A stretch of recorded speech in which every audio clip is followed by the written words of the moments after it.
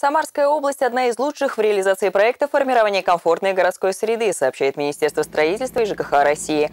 В регионе программа выполнена уже на 90%. Таких же успехов добились только в Красноярском крае, Республике Бурятия и Томской области. В прошлом году на проект в Самарской области было выделено более 2 миллиардов рублей. Деньги получили 34 муниципальных образования. Благоустроено почти полторы тысячи дворовых и три общественных территорий. В 2018 финансирование составляет более миллиарда рублей.